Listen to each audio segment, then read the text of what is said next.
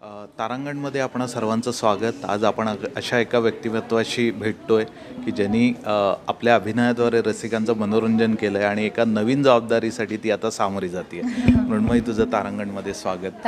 आणि तुझ्यासाठी खूप महत्त्वाची मोमेंट आहे. कारण हो. प्रत्येक व्यक्तीला ह्या क्षेत्रात शेवटी अल्टिमेट गोल दिग्दर्शक बनणं हा असतो.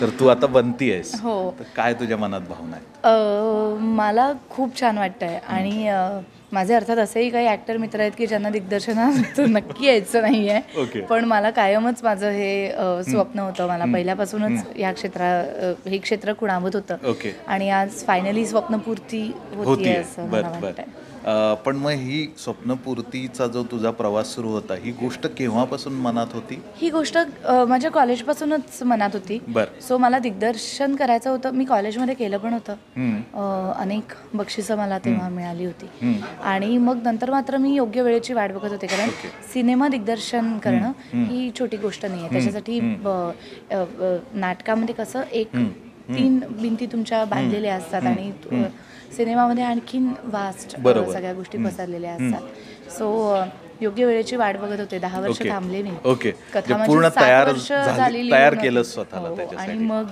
पुढे घेतली. ओके. पण अशी काय गोष्ट ह्या सिनेमात तुला वाटली की येस हाच माझा पहिला सिनेमा असायला हवा असं वाटतं तुला? आजच्या काळातली नाती. आहेत. आणि मला आवडतं स्टिरिओटिपिकल गोष्टींना ब्रेक करणं. मला वाटतं की मराठीमध्ये आणखीन एक विषयाचं नाविन्य घेऊन यायला मला आवडेल. हा विषय आजच्या तरुणाईचा आहे. मांडणी आत्ताची आहे. सिंपल आहे. भडकपणा नाही आहे. हे बघितल्यानंतर लोकांना जास्त कळेल. म्हणून हा सिनेमा मी निवडला. ओके पण आपल्या मनात कितीही असलं तरी एक सिनेमा डिरेक्ट करणं किंवा तो सगळी प्रोसेस एकत्र जमवणं ही सोपी गोष्ट नाही आहे हो. तर ती त्याच्याबद्दल अगदी थोडक्यात सांग. कसं तुला निर्माते कसे मिळाले आणि कासबीज कशी ठरवलीस मला निर्माते म्हणजे मी सगळ्यात पहिल्यांदा नितीनला कथा ऐकून दाखवली. नितीन प्रकाश वैद्य जो आमचा आता निर्माता सुद्धा आहे. आणि तो म्हटला की आपण भेटूया लोकांना. त्याला आवडली ती कथा. आणि आम्ही विनय गानूंना भेटलो. आणि विनय गानूंना भेटल्यानंतर मी ती कथा अर्धी त्यांना वाचून दाखवली. ते म्हणले अगं पूर्ण कर. म्हटलं मला एक दहा दिवस द्या आम्ही पूर्ण करते. ओके. कथा पूर्ण केली मी. म्हणजे डायलॉग सकट डायलॉग व्हर्जन. त्यांना फोन भेटलो त्यांना वाचून दाखवलं. दोन दिवसांनी नितीनचा फोन आला त्यांना खूप आवडला आपण करतोय. म्हणजे अगदी सहज सोप्या पद्धतीने हो घडत सोप्या पद्धतीने घडलं. कारण खूप चांगल्या चांगल्या लोकांना सुद्धा प्रोड्युसर मिळाला. खूप वर्ष वाट बघायला होते. आणि मी हे माझ्या कित्येक जवळच्या मित्रांच्या बाबतीमध्ये सुद्धा बघितलेलं तर चांगला प्रोड्युसर मिळणं हो, पैसे हो. लावणारे खूप जण असतात पण आणि तो शेवटपर्यंत सपोर्ट करणं. सगळ्याच आय एम गोष्टी लकी ओके मिळाले. आणि कास्टबद्दल काय सांगितलं कसे निवडले कलाकार? हे सुरत बरोबर मी काम केलं होतं शिकारीमध्ये. तिथेच तो फॅन्टॅस्टिक हे कळलं होतं. अंकित बरोबर फरजंदमध्ये काम केलं होतं. त्यामुळे नचिकेतसाठी तो तेव्हाच डोक्यात. बसला. होता. माही अंजलीशिवाय दुसरं कोणीच करू शकत नाही. कारण तीच माहीच आहे. ती. ती मुळात. पोटात माही. आहे. आणि सायली ही या जनरेशनची सर्वोत्तम नटी आहे. ती अफलातून काम करणारी मुलगी आहे. त्यामुळे रियासाठी सुद्धा दुसरं कोणी करू नाही शकत. बर बर बर.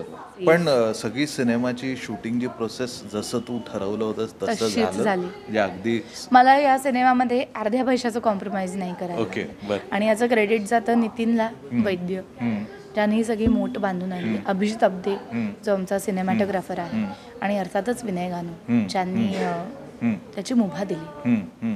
पण तू आता दिग्दर्शक म्हणून पहिला सिनेमा अशा कोणत्या फिल्म्स किंवा दिग्दर्शक आहेत की ज्यांचं काम तुला आवडलंय? गौरी शिंदे.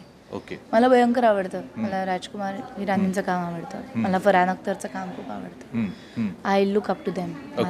त्यांच्याकडे बघते मी. पण तू भविष्यात तुझा बॅलन्स कसा साधणार आहेस? कारण तुझ्याकडे खूप चांगले रोल्स तो येतात साधला जाईल. छान काम करतीस. तो आपोआप साधला जाईल. ओके रादर मी माझ्या दुसऱ्या फिल्ममध्ये मी स्वतः कामही मी ओके ओके. म्हणजे लगेच तू हो, स्टेप घेतलीस आहे. पुढची. ती पण रेडी आहे ऑलमोस्ट सो तो तो आपोआप साधला जाईल. ओके कारण खूप चांगल्या चांगल्या स्क्रिप्ट ॲज अन ॲक्टर सुद्धा माझ्याकडे आहेत. Okay. Quite happy with it.